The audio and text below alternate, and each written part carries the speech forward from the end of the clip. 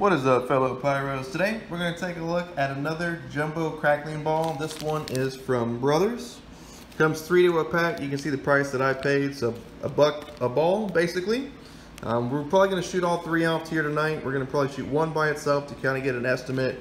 I might do the other two together. But for now, let's go ahead and take a look at it guys. We have Jumbo Crackling Ball by Brothers Fireworks. Let's go ahead and see how they compare